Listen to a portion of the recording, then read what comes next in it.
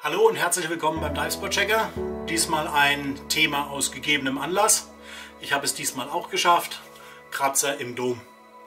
Wie ich es geschafft habe, weiß ich nicht mal. Mir ist es nur hinterher aufgefallen, als der Dom trocken war, dass ich genau oben in der Mitte einen ca. 1 cm langen Kratzer hatte und der so tief war, dass wenn man mit dem Fingernagel drüber gegangen ist, dass man ihn spüren konnte. Das heißt, man hat ihn auch auf meinen Bildern gesehen.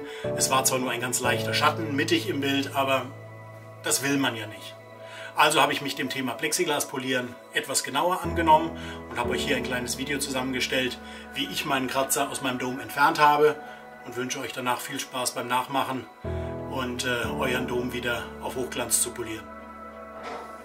So, ich denke, man kann den Kratzer hier im Dom ganz gut erkennen. Es ist so, dass er wirklich grenzwertig ist. Wenn ich dunkle Fotos schieße, sehe ich so einen ganz leichten Schatten. Aber ich habe mir gedacht, ich versuche ihn jetzt einfach mal wegzukriegen. Wie gesagt, der eine oder andere wird sagen, komm, das geht noch. Also das ist noch nicht so, dass man was machen muss. Aber ich bin der Meinung, äh, ein Versuch ist es wert, ihn wegzukriegen. So, mein nächster Schritt wird jetzt sein, äh, das anzufeuchten, den Bereich des Kratzers.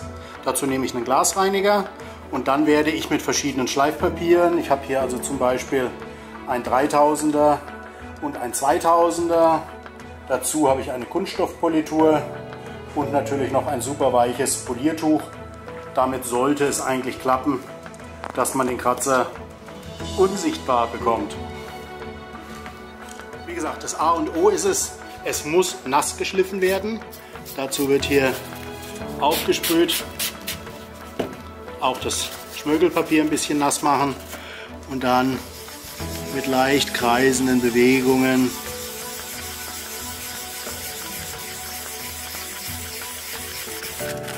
um den Kratzer herum.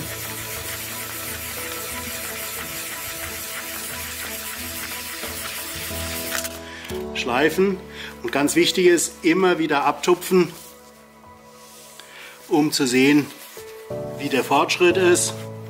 Man sieht es im geschliffenen Bereich deutlich besser, wie es mit dem Kratzer aussieht. Ich kann ihn hier noch ganz leicht erkennen, aber es wird schon deutlich besser.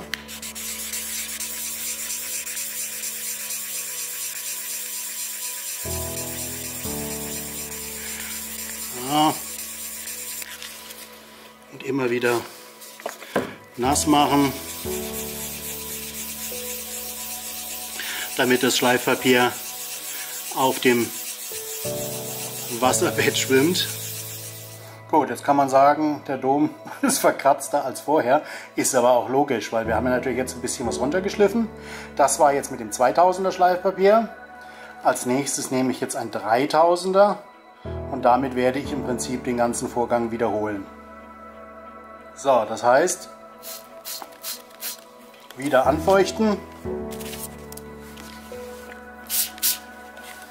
Auch das 3000er Pad angefeuchtet. Und jetzt geht es wieder in kreisenden Bewegungen über die vorher angeschliffene Stelle. So, jetzt ist das Ganze in 3000 geschliffen. Und wie man sieht, man sieht keinerlei Kratzerspuren in dem Feinschliff. Das heißt, meine tiefen Kratzer sind weg und ich kann jetzt mit einer Kunststoffpolitur den Dom aufpolieren. So, dazu nehme ich eine Kunststoffpolitur.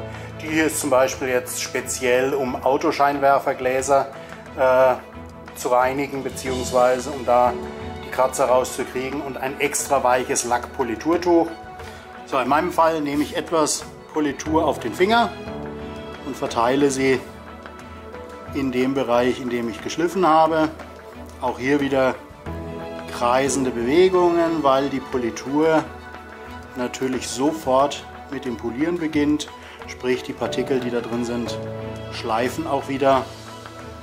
Und das beste Ergebnis sind einfach immer leichte kreisende Bewegungen. Den höchsten Poliereffekt hat man natürlich mit leicht angetrockneter Politur. Deswegen, nachdem ich jetzt hier meine Politur schön verteilt habe, werde ich das Ganze etwas antrocknen lassen und werde dann mit meinem super weichen Tuch über den Dom drüber polieren. So, versuche ich das jetzt mal hier in Echtzeit vor der Kamera zu polieren. Wie gesagt, ich nehme hier mein super weiches Vlies und dann auch wieder in kräftigen kreisenden Bewegungen über den Dom polieren. Und siehe da, muss ganz ehrlich sagen, das Ergebnis ist noch besser, als ich es erwartet habe. Also wir haben wieder einen hochglänzenden, schlierenfreien. Das Einzige, was man hier sieht, ist natürlich schon das Spiegeln von meiner Glasreinigerflasche. Aber ich denke, man erkennt es sehr gut. Ein absolut kratzerfreier Dom. Klasse, freut mich. Das heißt, ich kann jetzt wieder schlierenfrei fotografieren unter Wasser. Ich wünsche euch viel Spaß beim Nachmachen und schon ist jeder Kratzer nur noch halb so schlimm. Also viel Spaß und gut Luft, euer Divespot Checker.